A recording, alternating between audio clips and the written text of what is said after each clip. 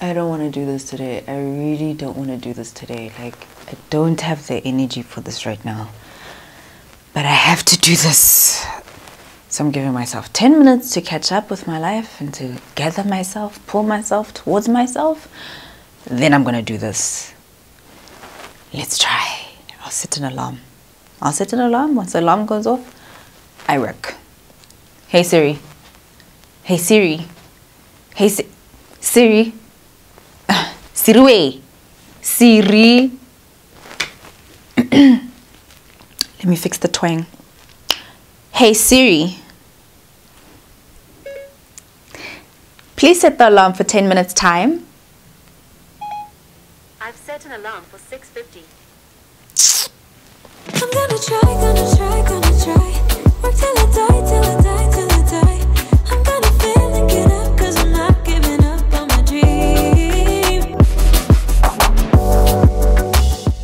Gorgeous and welcome to my channel. I'm Kopano Shimange and this is How I Do Things, the show where you send me your questions and I let you know how I would do things. Now you can use it as entertainment or take it as advice.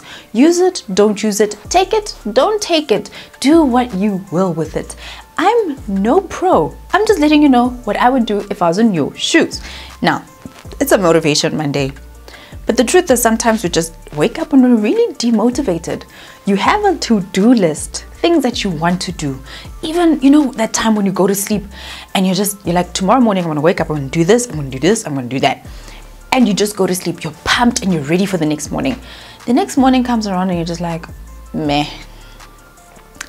I'm not really sure about this thing. Uh, I don't feel like doing this today. Being demotivated happens, and this is one of the biggest culprits when it comes to procrastination. Because we're not motivated to do the thing that we want to do, we end up procrastinating on it. So, how do we work around this thing? How do we actually get motivated? How do we move past the point where it's just like, I don't want to do this thing? It can go jump off a cliff. How do we get from that to actually doing the things that we want to do and getting our life together, getting things done? Now, if you have any questions that you want to send to me, head over to my Instagram and look for this picture right here. It is in my Insta story highlights. All you have to do is go to my profile at Kopano Shimange, look for the lavender circle that says how I do things, reply, and you can send your questions about being a woman, about being a boss, about being anything. Just send me your questions because that's how the show works. You send me your question, I do a video all about it. Now, before we get into the five things you need to do to get motivated, I need to find out something from you real quick, just real quick. Have you subscribed to my channel? Have you? Huh? Tell the truth. If you have not subscribed, there's a word at the bottom. It says subscribe down here. All you have to do is click on it. It's completely free. No deductions are coming off your account. Nobody's going to judge you. Actually, you're going to join this group of amazing people over here on this side of the world who enjoy being part of the gorgeous gang. Every single morning at 7:30 I load a brand new video all about us as women, as ladies, spilling the tea on things that make us live our best lives. And if you want to get notifications all about that, then you need to subscribe and you need to you need to hit the notification bell. Now, let's not waste any more time. Let's get into this video. So you're feeling a little demotivated? Here's the thing that you need to know. Number 1, you actually don't have to be motivated all the time. You don't always have to be highly motivated. That person who's a go-getter. You wake up in the morning, you're just like, yes, ah, ooh, ah, I can do this. You don't have to be that person. You really don't. You don't have to be that person all the time. You don't even have to be that person at all, any time of the day or any time of the year. Here's the thing about motivation. It's like a car and petrol. A car needs petrol in order for it to move, right? Sometimes that car has a full tank and that car is pumped, it's going, right? And sometimes it has a low tank. But as long as there's just a little bit of petrol in the car, it will still move. That's how our motivation is. We don't have to have a full tank in order for us to move. As long as it's just a little bit of fuel for us to move, we can get things done. So it's okay. Number one, just forgive yourself for actually not being highly motivated all the time. You don't have to be. It's okay. It's okay. Number two, get moving. Movement is motivating. You need to move, do something, anything. Wash the dishes, get up, clean your house, anything that will mean that you won't be sitting on your butt on the couch watching Netflix. You need to do that thing. Here's the thing about demotivation it is very, very good at getting us to just sit and do nothing. And that is a problem.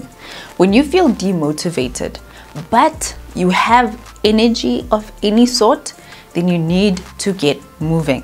What this does is that action actually helps us to build motivation for us to do the thing that we need to do. This is what I do sometimes when I wake up in the morning and I actually don't feel like doing the things that I have to do, I'll do the dishes or I'll clean the kitchen. There's something about cleaning the kitchen when you just see the transformation that happens in the kitchen, you're just like, oh, yes. I love this. That really helps me to get motivated. My studio is almost always a mess, and cleaning that up helps me to get motivated. I'm in the studio every morning. I'm changing clothes, doing my makeup, doing my hair. So all of those things end up being outside instead of inside where they're supposed to be. So cleaning that up and seeing the transformation of my studio really helps to get me motivated. So what can you do? For me, it's cleaning. For you, it may be a walk, taking a run. It may be something completely different. Maybe cleaning your car, going for a car wash, whatever it is. Point is you need to get moving and accomplish something really small because action helps to build the motivation. Movement builds motivation. Number three, set your life up so you don't actually have to rely on motivation. Here's the thing motivation, like willpower, they run low. It's like petrol in that car, right?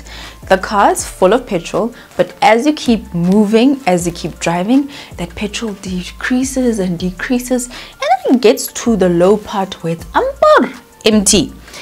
And in life, we also get to those places in terms of our willpower and our motivation. They're not supposed to be there all the time, and sometimes our willpower is really low. We really just want to sit, especially on those cloudy days. It's been raining and it's of weather, and you're just thinking to yourself, Ooh, that blanket on me would be so great. We can't rely on motivation and we can't rely on willpower that we're setting ourselves up to fail if that's what we're going to rely on in order to achieve the things that we want to achieve.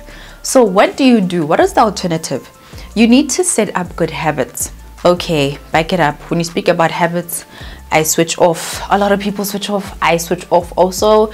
Even though I've got good habits, I also switch off. As soon as somebody says build a good a new habit, I'm just like,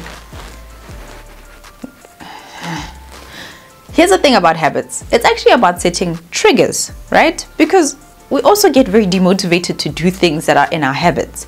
However, if you set up triggers, then we train ourselves to do something as a result of something else. So when this video is done, I want you to go and Google the Pavlovian effect or a Pavlovian response. What it actually means is it's conditioning that is specifically related to a trigger. So for example, I'm terrible at taking daily medication. So when it came to me taking my Preggy vitamins, I was just like, listen, this is going to go terribly. I'm going to skip days.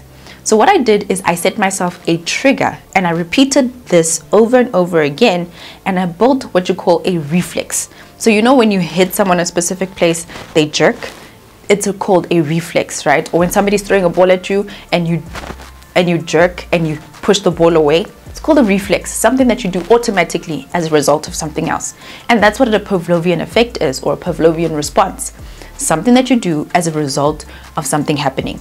So what I did for my Preggy vitamins is that I would put them next to the bed. When you're pregnant, you get super thirsty. So I'd always go to bed with a glass of water. Every time I put my glass of water down, I'd see my vitamins and I'd take them before I go to sleep. Now, if they weren't there, I I kid you not, I would not take the vitamins because they're not there. So, what triggers do you need to put in place that will make you react in a specific way? Is it waking up early in the morning that you really can't do it? You cannot be motivated to wake up at 5 or 6 a.m. in the morning? Then, how about you set your alarm in the TV room? Because we all know across the room is not good enough, okay? You set your alarm and you put your phone and your slippers all the way in the TV room. What does that mean? The alarm goes off, you have to go barefooted, you find your slippers that side, and then your day begins. That is what we call a Pavlovian effect. You want to set a trigger that's going to force you to react in a specific way. And you want to do this over and over and over again until it's set in your brain and you are now conditioned to react in this way. And that's how you build habits. You set triggers all over your life and you train yourself to react to those triggers in a specific way then it just becomes habit. It becomes second nature to you that when the alarm rings, even if it's in the TV room or it's in the bedroom, you get up. Then later on in your life, you know that I have to do this thing. With this trigger in place, I will always do the work I need to do.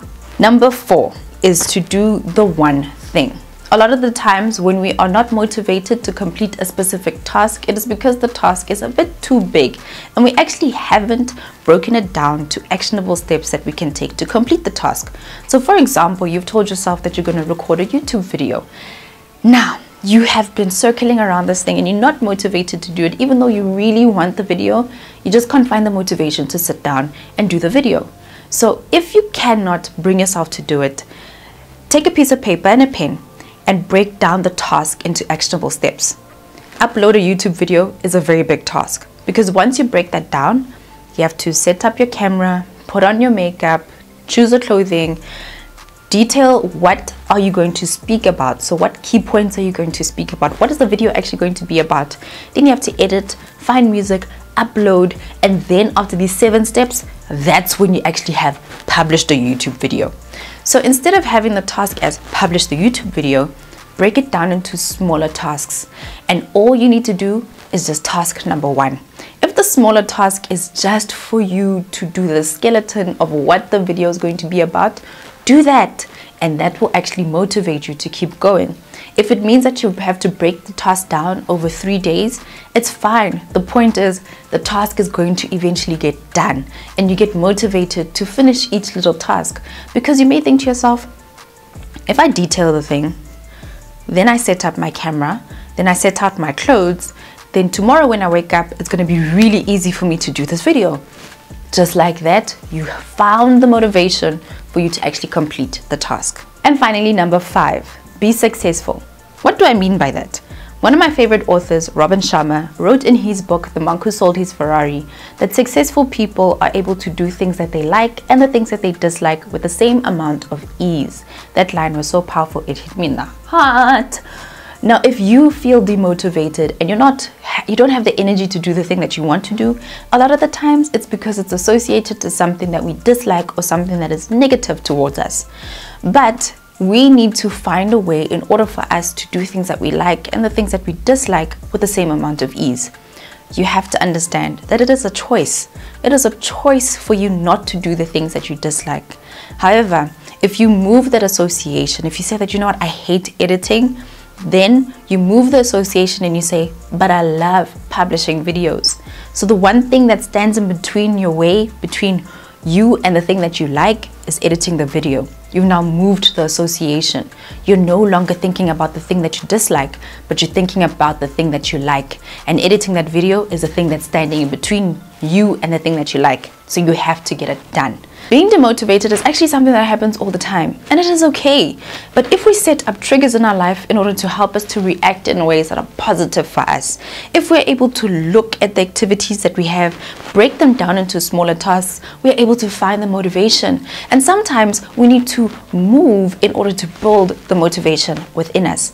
It's okay to feel demotivated, but you can work through it. The one thing you don't want is to let that demotivation cause you to procrastinate over days and days and days.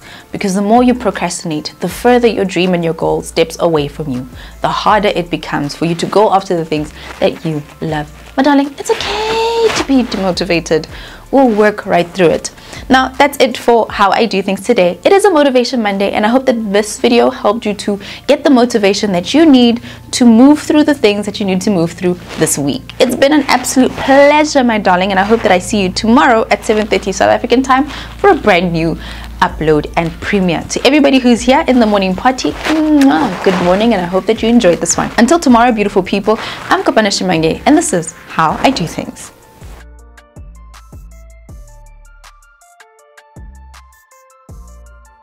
Gorgeous. Thank you so much for making it to the end of my video. Thank you, thank you, thank you so much. I hope that you enjoyed it. Now, if you have not given this video a big thumbs up, do it now. And if you have not subscribed, click on my face. It's right here. It will help you to subscribe. It's so easy.